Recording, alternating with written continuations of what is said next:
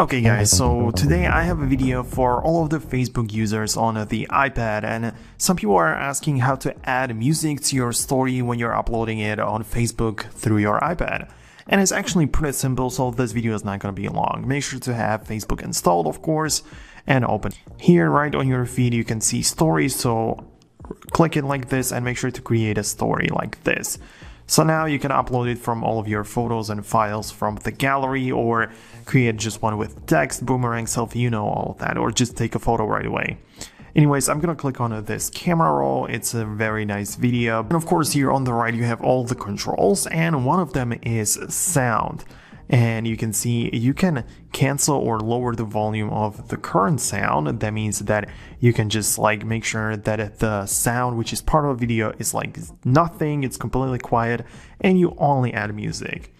And now since facebook and instagram are from meta which is like the same company you can have like access to the same way you add music and songs to your stories on Instagram. So here you can see and search for any music you want, some of the popular options with the artists and like categories and stuff. You can search for your artists and make sure to add them there. So whatever it is, you can just add it. I'm, I'm going to lower it just so it doesn't stand in the way, but now you can, you have control of the sound layer of the song or of the video sound so you can just make however you want.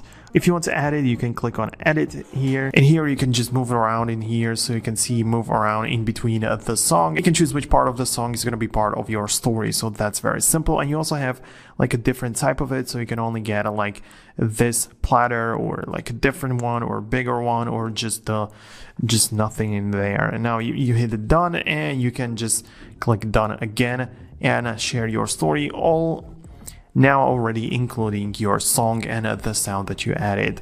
The thing is that sometimes the sound option may not be even here, so it has to be like sometimes it's like hidden under the arrow icon so it's you have to like click the arrow first then the sound is going to appear and then it can disappear i mean you have to just find it but it's pretty simple to do so it's a bit different from Instagram because there you tap on the stickers and you have the music in here. Here is uh, the sound on a completely different page or like separately here. So that's why it's a bit different. And this would be pretty much it. This is how you can add songs and music to your story on your Facebook.